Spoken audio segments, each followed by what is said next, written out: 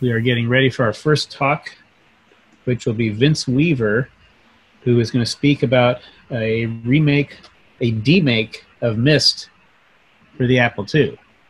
Um, Hi, I'm Vince Weaver. I'm a professor at the University of Maine, and I'm here today to talk to you about Myst demake for the Apple II computers.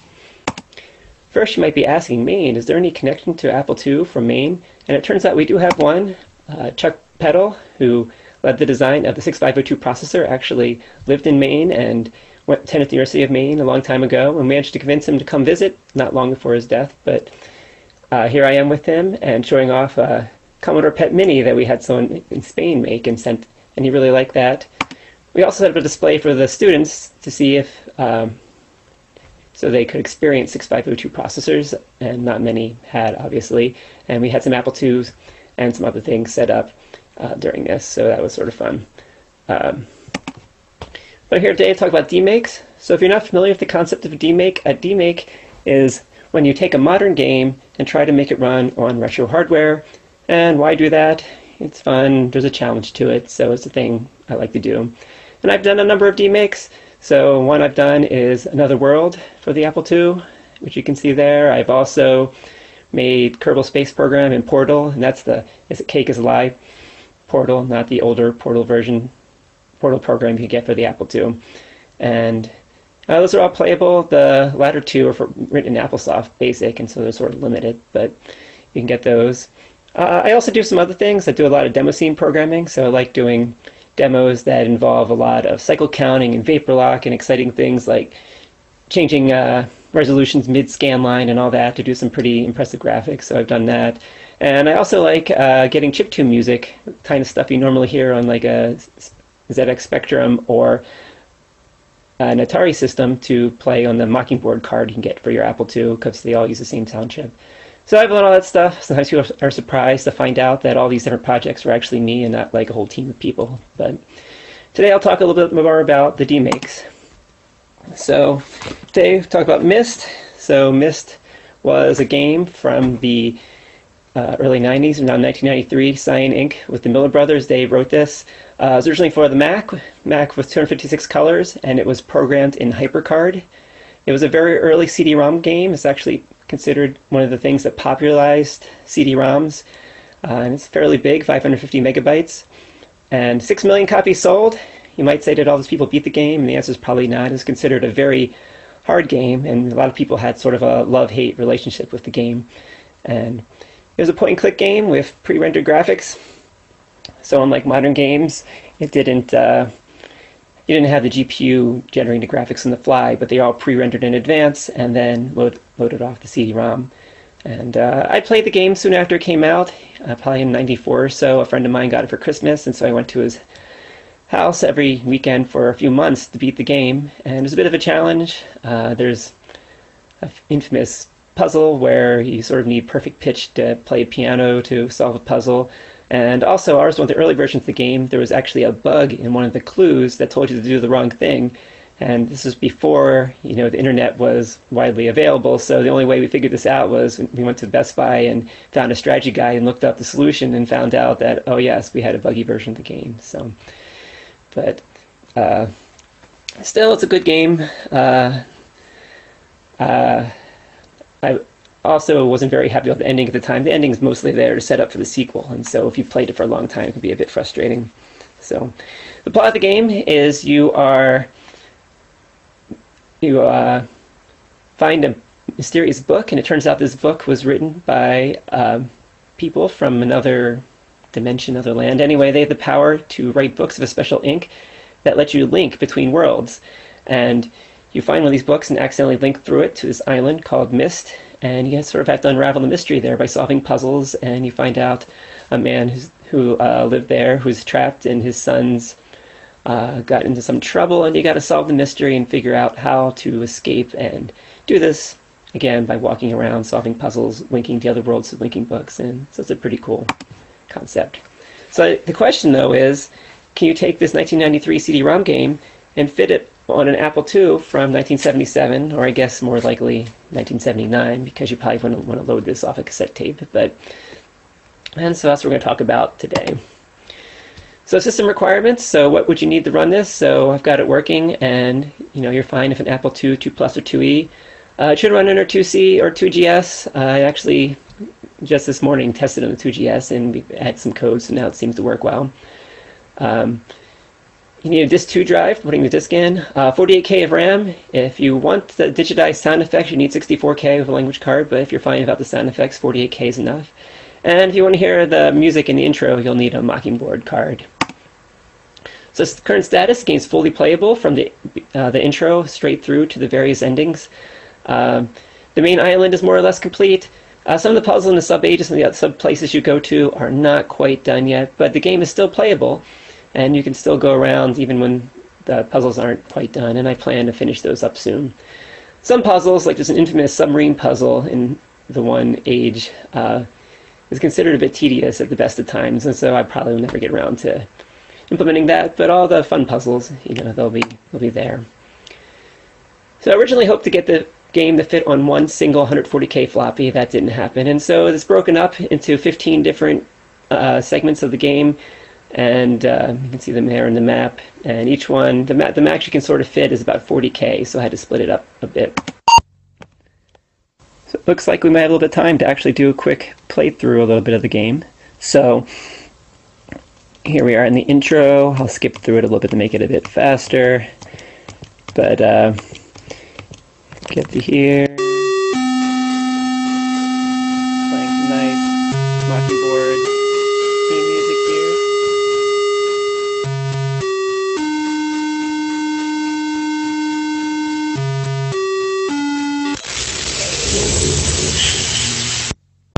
Was the visual sound effects. Uh, it sounds a little bit better on real hardware. And then you can just walk around the game. So you just walk around and you can use the pointer to point where you're going and look around, touch things, break things. Um, and again, it's very a lot like, hopefully, the original game, walking around here. Um, very much based on the original game, where you just walked around like this uh, in a very point and click fashion. In, in, the later versions of the game, uh, they came out with remakes that were, you know, 3D, fully rendered, and all that. So, uh, you know, you can check out, pick up things, see what's in the book.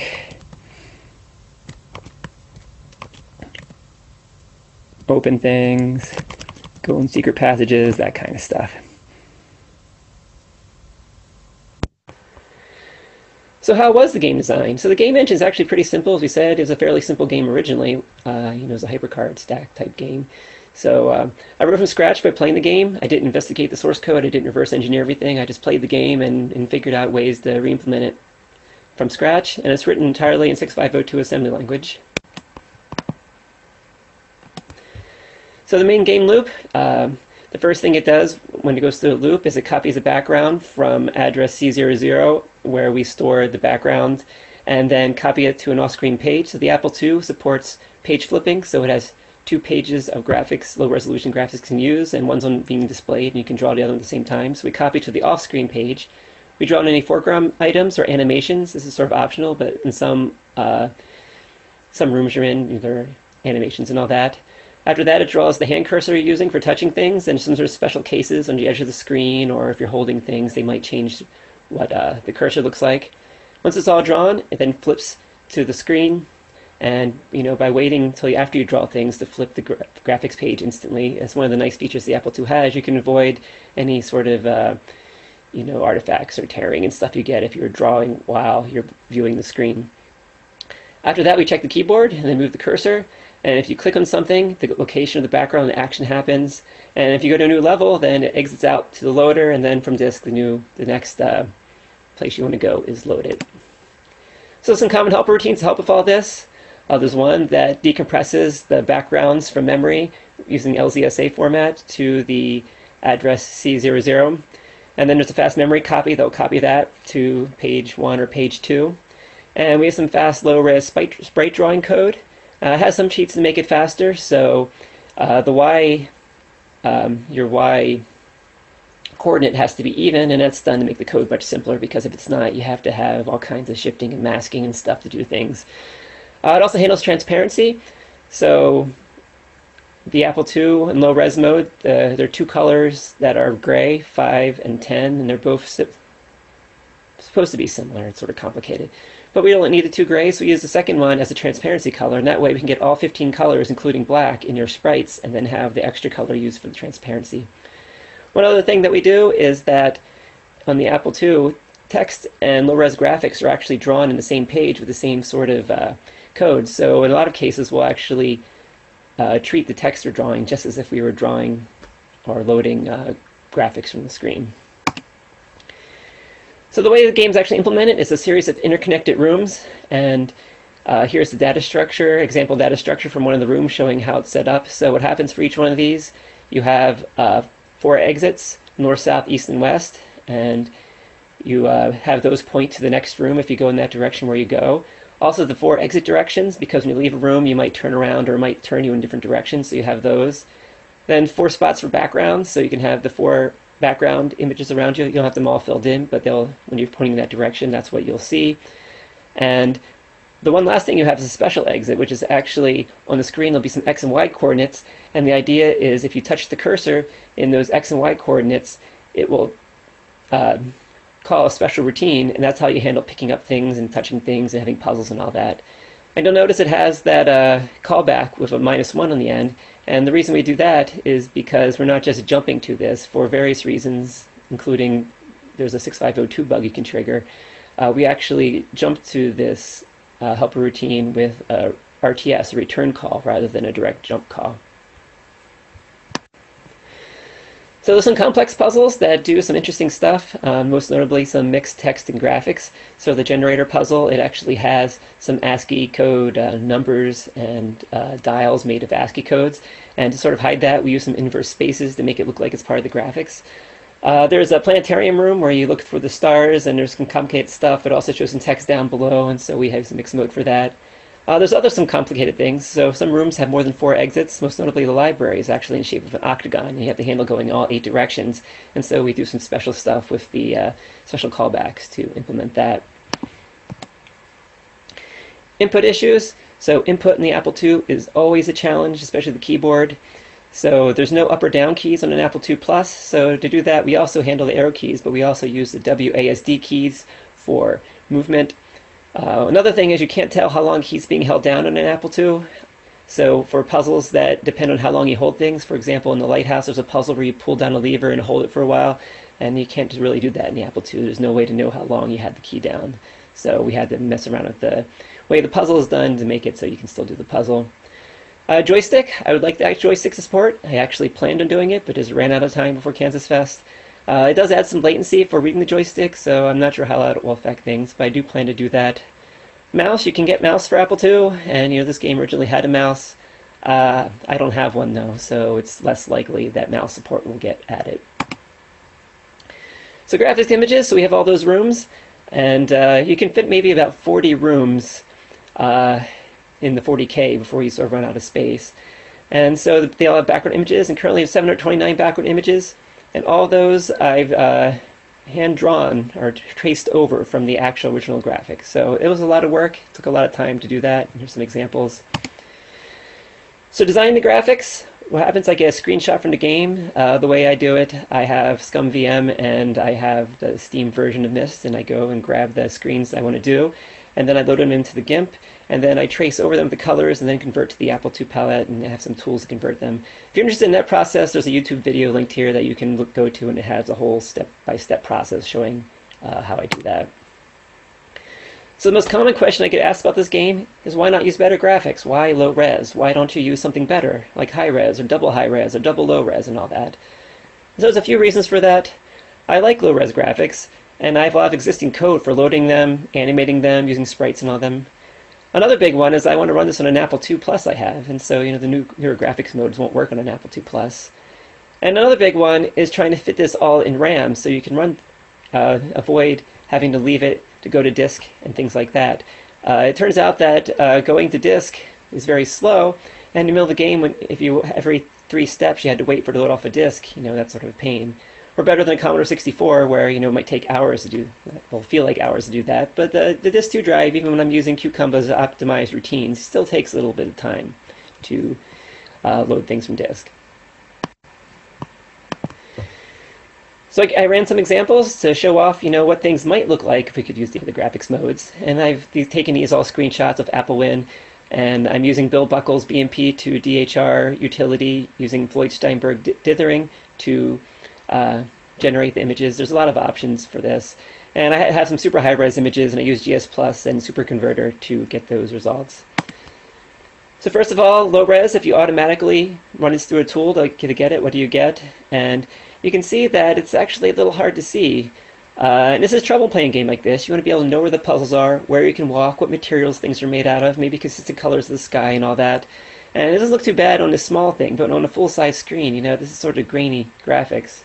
So for comparison, here's the hand-drawn stuff I did. And so, you know, things are a bit different. You know, the sea's a solid color, you can tell where to go, the puzzles are there. Uh, just getting things consistently, like the pick a consistent sky color and a consistent ocean color was actually a bit of a challenge in getting things to work out. You can see I had to use the aqua color, which is always, I feel like, a horrible color in the Apple II, but it worked out. On the right, you'll see that I struggled a bit in a selenitic age. That age has got a lot of grays and blues and uh, rocks and stuff like that. It was really hard to get consistent colors that where you didn't have the same color next to each other, and it, that was much more of a challenge. Uh, the other ages weren't quite so bad. So instead, if you want to use double low res, so that resolution is 80 by 48, it's twice as uh, twice as many horizontal pixels. Uh, it takes twice as much space too, uh, you know, two kilobytes instead of one kilobytes per image. And you really need an Apple IIe or 80 column card and some really complicated code to get it. Those screenshots down there, it took me a very long time to manage to get those images into this emulator so I could take the screenshots. It's a complicated mode to use, especially if you're trying to do page flipping. So the high-res mode, which is 280 by 192, or it's more accurately, it's 140 by 192 with six colors. Uh, it looks a lot better, but again, it takes 8 kilobytes for these. If you want to do page flipping, that'd be 16 kilobytes. If we only have 48 kilobytes of RAM, that's 130 RAM out the window just for the graphics. And so there also graphics will be on average maybe about 8 times bigger than the other one. So you can see you'd have a lot more trouble fitting in on a reasonable number of disks or in a reasonable amount of RAM. Double high res looks even better. Uh, this is the same resolution as last time, but with 15 colors instead of 6. But again, it's twice as big as before. You really have to have 128K Apple IIe to use it. The code for this is even more complicated. So, And finally, super high res. So this is on the Apple II GS, and you can see the graphics almost look as good as the original graphics. And you know this makes sense because the 2GS was almost contemporary with some systems that saw real ports of Myst, like the Amiga. You know, it was, it was a much more recent system and almost came out was around still being developed for at the time that Myst came out. So, so in the end, I, I stuck with my low res graphics, and part of this was trying to fit the number, fit, limit the number of 140k floppies you needed. As I said, I originally tried to fit in one, and then two, maybe both sides of one, but then you know it got to three. And so how do we fit? Uh, one thing you do is compression, compress things so they fit better. One is using the low res images that we do. Uh, having fewer areas of the game. So in the game, there's actually a lot more than you can actually walk through in the game as designed. Uh, in general, every other step along the way I've skipped, and you really don't miss much by missing every other step. I also simplify some corner cases. So some things like in Channelwood, there are these pentagon platforms through the swamp, and you can look the various, maybe up to six ways, and it gets really complicated. And it's really hard to navigate in the real game, and so by limiting things in the in the demake, you know, it hasn't really made it much that much worse. So, you know, as I said, it's really good to try to fit into RAM because swapping floppies and waiting for things to load just takes you out of the game. So could we get even smaller? So one thing you could do would be simpler graphics that compress better, so even more cartoony than I have, but I tried some of that and it, you sort of lose something. Another would be to generate the background sort of algorithmically. So, if, for example, there's like a pillars area, these pillars and buttons you press, and you know the backgrounds in the far background doesn't really matter. You can maybe just have a generic ocean or forest background and, and build scenes that way. But in the end, it was you know, too much trouble to do that. Some paths in the game are mirror images of each other, and so we could possibly have a flag and automatically flip and then save you know some images. But again, it didn't seem like it'd save enough room to be worth doing that. There's some crazy disk hacks you can do. So like a custom bootloader. Uh, so I actually throw DOS away in memory and use qkumba's routines, and you know I could just replace everything and write my own custom bootloader and all that. Or alternately, you can use the RWTS 18 disk format, which fits 160K on uh, on a disk by doing some crazy rewriting how the disks are written. But again, you know, things fit reasonably on three disks. You know, it's probably not, you know, worth the trouble for that. So compression, to compress things, we used the LZSA2 compression library by Emmanuel Marti. And uh, qkumba had some part in the 6502 version of this code.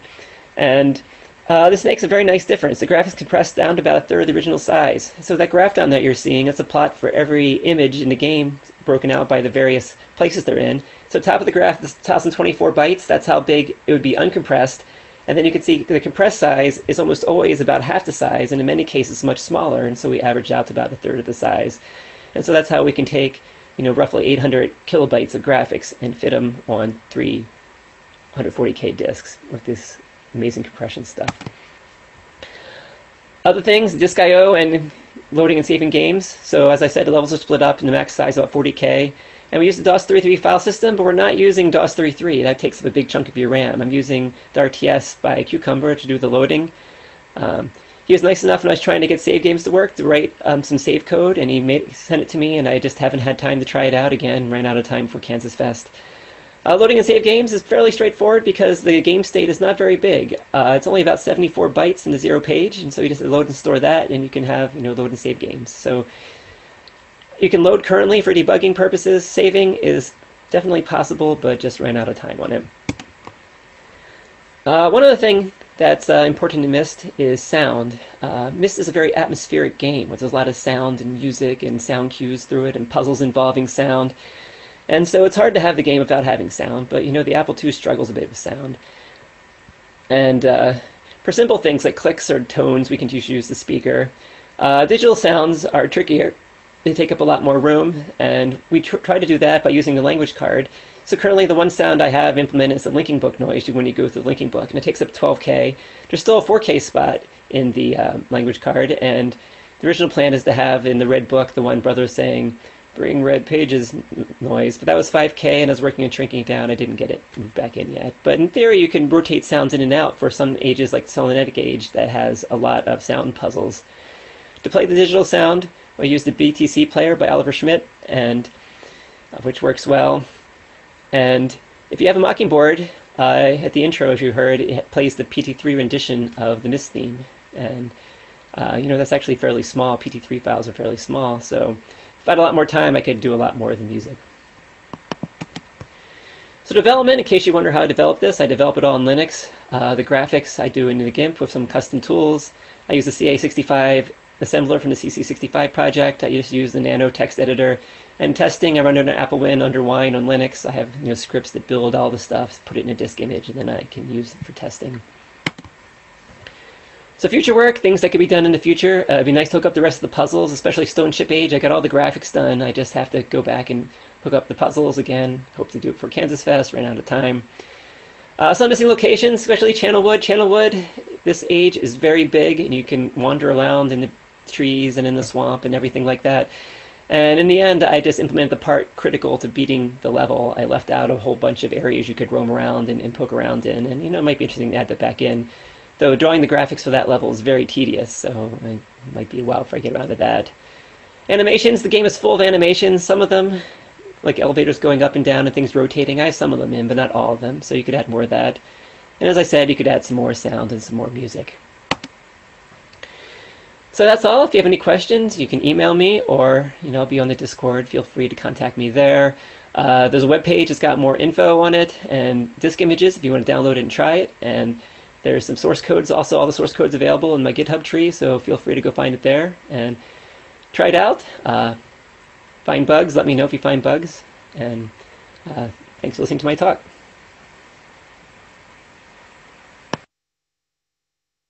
Great. Thanks, Vince. That was awesome. thanks. hey, did you, um, I know you were actually monitoring some of the Discord. Did you want to answer any questions on there, or do you want me to ask the questions, or? What would you like uh, to do? You have some. They scrolled by, so I don't remember which ones got answers, which ones didn't. Yep. Well, there was a question about um, the joystick, and I think you actually answered that. But if you want to say anything more about that. Oh, yeah. I, pl- I plan to do the joystick. It, it shouldn't be too bad. It's a lot of those things I was I was kind of crazy week trying to get as much done as I could before KFest, and it's one of the things that fell between the cracks. Um, I do plan the joystick mouse. I know people like the mouse. It's that's trickier. I mean, the emulator does it, so I can try it. Uh, can always do the things I had on my own Apple II growing up and didn't have a mouse. So for me, it's always slightly less interesting to do the things I didn't have. But I do have an actual joystick and an actual 2 Plus that I test with. So yeah, probably maybe the next few weeks we'll get joystick support. Cool. Um, I know somebody else asked about the T-shirt. let's see. Yeah. It. Let's see it. Can we see it? Yep, yep. Uh, I'm actually wearing my Kansas Fest shirt today. Oh, okay. I got, I got the other shirt here. So yeah, the um, I, I, bought that a while ago. I forget why it came up. Someone posted it. Maybe it was a year or two ago. Uh, so I think someone posted in the Discord. I think someone found it and, and, linked to it. So you can find it in, in the Mist DMake Discord. You can find a link to it. But yeah, that's what I wear when I go to like demo uh, parties and stuff. You know, to show off my Apple II stuff. I wear that shirt. So awesome, cool. Um, let's see. I now I've lost the rest of the uh, the questions as well. Anything else that you want to say about it? Um, trying to think. Uh, yeah, if people want to try out, you know, go for it. Uh, I'll probably be releasing. I've been trying. You know, I've got about another maybe week or two's worth of work before it's completely, you know, what I'd like to release. But it's definitely playable. You can play through the whole thing. Also on YouTube, you can search for and find it. As I develop things, I posted a lot of videos of it under prog- in progress, so you can see all the various levels. If you're just curious how I did a certain part of it, there's a playlist with about 20 videos of all the various parts of the game if you want to see it. And I plan on actually doing a playthrough on actual hardware and posting that at some point too once I get once I get a chance. So uh, I finally my computers were all on lockdown at work. I finally managed to go rescue one a few days ago, so I actually have an Apple II to actually run on now. Cool. All right, we have like about three and a half minutes left. So uh, anything else to finish up with? Somebody asked about uh, the 2GS. Um, you know, maybe it looks like it didn't work for them, but maybe you could just talk to them offline on the the, ch- the Discord channel. And then okay. um, somebody else asked about links so do you have you know links for all these things? Maybe you could post those as well in the Discord channel. Don't post them here in the chat because they'll just scroll off. But. Okay, I can do that. Yeah.